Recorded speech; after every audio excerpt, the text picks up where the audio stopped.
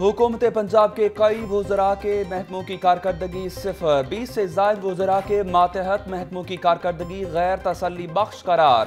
وزیر انسانی حقوق اجاز مسیح، وزیر مذہبی امور پیر سعید الحسن کے ماتحت محکمے بھی کچھ نہ کر سکے۔ سینئر وزیر عبدالعلیم خان کے محکمے کی کارکردگی اکیس فیصد رہی۔ وزیر صحت ڈاکٹر یاسمی راشد کے ماتحت محکمہ صحت کی کارکردگی تینتیس فیصد رہی۔ کارکردگی رپورٹ تیار کر لی گئی۔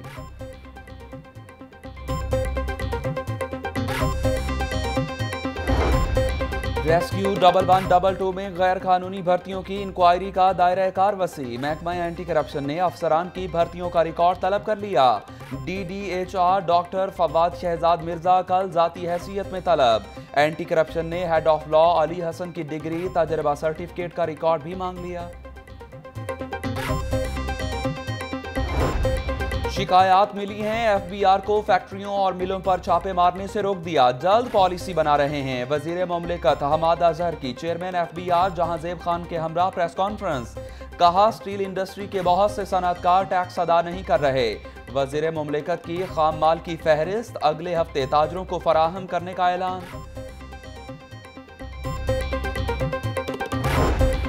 انصاف، ملنا تو درکنار الٹا دھمکیاں ملنے لگیں۔ غم سے نڈھال، سانحہ ساہیوال کے متاثرین کا کوئی نہیں پرسان حال۔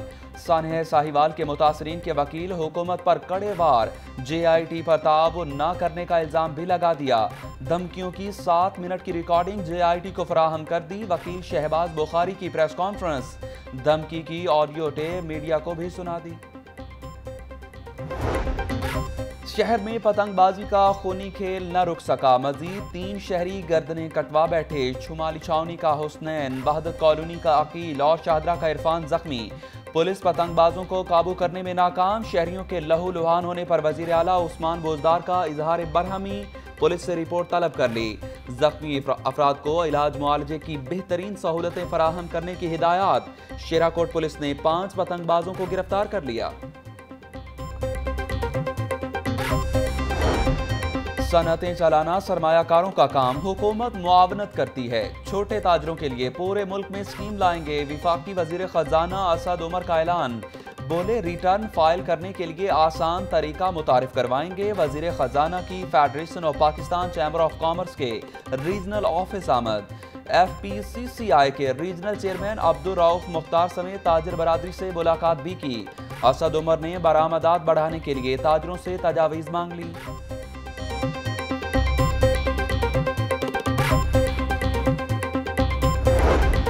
پیراگون کا ایک اور ہاؤسنگ اسکیم سے جڑا معاہدہ منسوخ۔ L D A city housing scheme سے بطور ڈیولپمنٹ پارٹنر ڈیفالٹر قرار دے دیا گیا۔ ڈیولپمنٹ پارٹنر پانچ کی بجائے چار کر دیے گئے۔ آئندہ ہفتے نیا معاہدہ۔ ڈیولپمنٹ پارٹنرز کو مستقبل میں چھبیس ہزار چار سو مرلے کی فائلیں فروخت کرنے کا اختیار ہوگا۔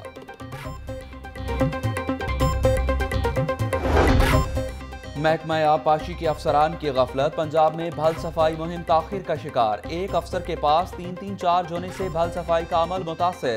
صرف تیس فیصد کام ہی مکمل ہو سکا۔ لاہور کینال میں جلوں کے مقام پر کی جانے والی بھل صفائی برائے نام۔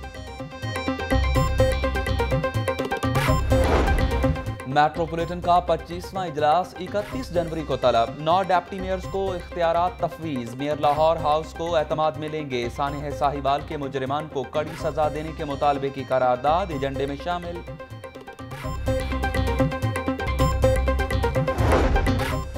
شہر میں چوریاں اور ڈاکے نہ رک سکے۔ سبزہ زار میں ڈاکوؤں کی فارمیسی پر لوٹ مار۔ نقاب پوش ڈاکوؤں نے اڑھائی لاکھ روپے لوٹ لیے، فائرنگ بھی کی۔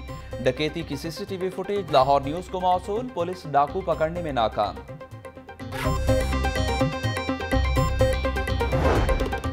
چوہدری نثار سمیت حلف نہ اٹھانے والے اراکین کی اسمبلی کی رکنیت منسوخ کرنے کا معاملہ لاہور ہائی کورٹ کے جسٹس شاہد وعید کی درخواست گزار کو اسمبلی روز درخواست کے ساتھ لف کرنے کی ہدایات درخواست میں وفاقی صوبائی حکومت الیکشن کمیشن اور چوہدری نثار کو فریق بنایا گیا ہے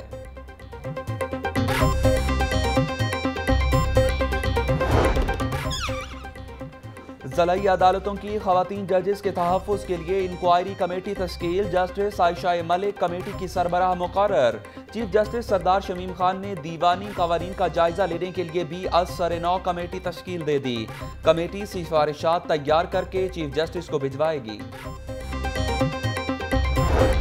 پنجاب یونیورسٹی میں کائنات کے راز کے موضوع پر پہلی بین الاقوامی کانفرنس ملک بھر کے سکالرز کی شرکت۔ کانفرنس میں نامور سائنسدان ڈاکٹر سٹیفن ہالکنز کو خراج تحسین پیش کیا گیا۔ اور شاہی کلا میں زمین کے اندر سے اکبری دور کا شاہی امام دریافت امام میں ٹھنڈے اور گرم پانی کی چمنیاں، مختلف اطراف میں جانے والے راستے بھی موجود۔